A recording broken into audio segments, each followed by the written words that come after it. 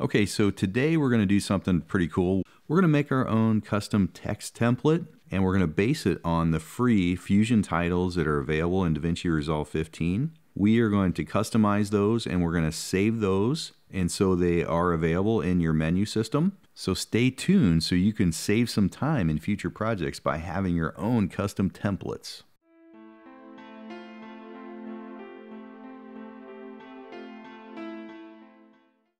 Okay, so what we want to do is we're going to try to just utilize one of the free Fusion titles. If you go to the effects library under titles, there are Fusion titles, and let's just select one of those. This one is a kind of a centered text, and it has an upper heading and a lower text as well. And so we do have some options in our properties window here. We can change our font, we can change our size, we can change our text. And so we can go into each of these, we can change the color. We want to make it a blue. So that's pretty good. There are some limited options that we can control here, but we only have minimum control here. So let's dig in a little bit deeper. I think there's more that we can do with this. So if we select the actual clip, we can see that it is, it is a Fusion template. We'll open that up in Fusion. And so now you can see there's the stack nodes here. So I'm going to go ahead and break this media out. And I will open up this by double clicking it. So we can see this whole flow here. And so it goes through this progression. We have the upper text and we have the lower text. We're merging them together and we're creating another title merge here. So first thing we can do is if we don't like that position, I'm going to go ahead and put this up here so we can take a look at it. So we can see that it's centered and we can certainly make some adjustments on the position in each of these nodes. But I think the easiest way to do this is I'm going to just click on the flow area, press shift spacebar and type in transform, hit add. And so now I'm going to connect the output into this transform the output of the transform into the media out. And so if we take a look at this now, so I, I have this view before the merge or before the transform shown in the right window. I'm going to put the media out in the left window. So with this transform selected, I can just move it right on the screen on where I want it. And I can also go in here and change the size. So if I wanted to make this like a lower thirds type text, I can quickly do that with this transform node. So that's the first step. And so now if I want to change properties on the actual text, I had limited possibilities in the actual editing window, but I have a lot more I can do here in Fusion. So I'm going to, I pulled up the upper text into the left window.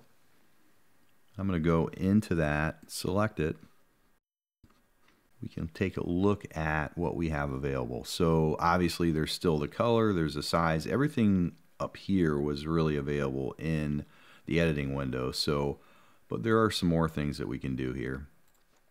So if we go to the actual shading elements, say we want to add a stroke around this text. So I'm going to select enabled. And now, so I have a red stroke around the text. And so let me change that. Change it to a black. And I can increase the thickness a little bit on that. So you can see that showing up in the left window. It's not showing up in the right window, um, mainly because we have this additional text color node built into there. And so let me pick on that. And so this is just setting the color of that overall text. And so what I want to do is I'm going to just delete that out of there and I'll connect the actual text here. I'm going to delete. And so now we can see the stroke is, is showing up there. We could do the same thing with the bottom if we wanted to. Um, what else can we do with the text? We'll just look at that real quick. So if we wanted to add, say, a, a border around it, we'll enable that. And so now we have this kind of this border around each of the characters and we can extend this so we get kind of a continuous border I can round the edges if I want to although that kind of gets weird, gets a little bumpy there. And I can decrease the opacity if I want a little bit. And so that looks pretty decent. And say, let me move this up here. So say if I like that, so let's go down to this lower text. Click on that. Actually, I want, what I want to do with this text is this size is too small. Go here to a 1.5. Okay, so let's change the color of that. So we have a lower text color here as well. I'm going to pull that out. Get rid of this one. I'm going to change the color right in here. Back to text here. Let's change this to, say, go yellow here. This one. Okay. So if this is what I want, say say this is the final configuration of this text that I want to have in there, because I want to have that stroke in there. I want to have a background behind the text. Um, we can obviously do any customization we want.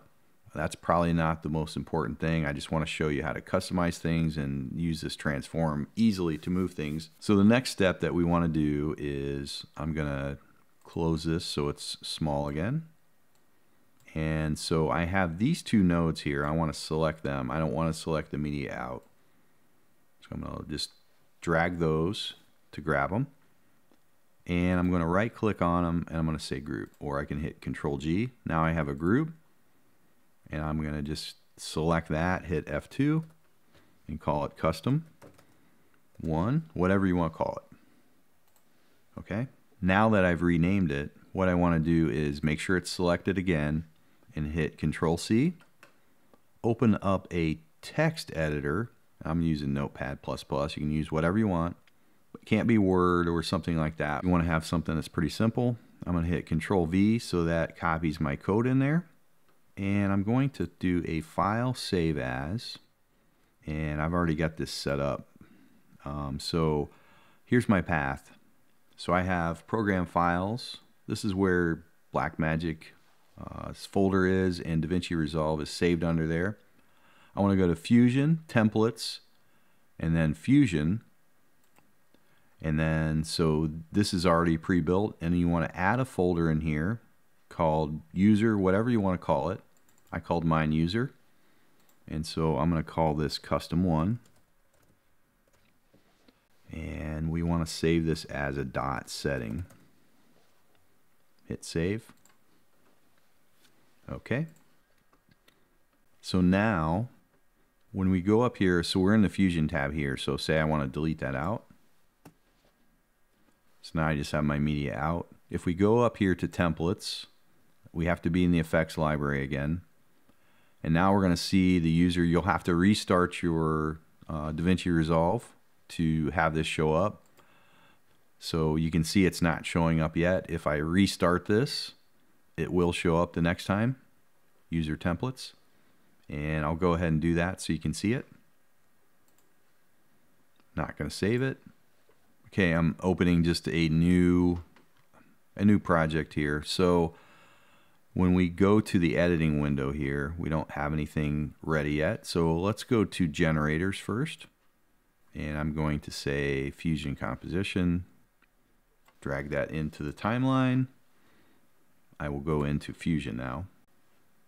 So we have our media out. So now if we go into templates, user, now we can see custom one. We can drag it on to the flow area. If you want me to open that, you can see everything still there. To drag that open to get everything back open there. But you get the idea. You can play around with that. So now if I go out to the media out, there we go. So we have that saved for a future project. The only little issue there is you have to restart Fusion, but you can make as many of your own templates as, as you want. Uh, these custom text templates are really great to save time in the future for projects. So Starting with those built-in Fusion title templates are really great and you can customize those and learn from those and create your own. Hopefully that helps you out in a future project and thanks for watching. Please subscribe and so you'll see what's coming out next and you can help support our channel But please like this video and try it out. Just take a look at those options and save yourself some time on your next project. Thanks for watching.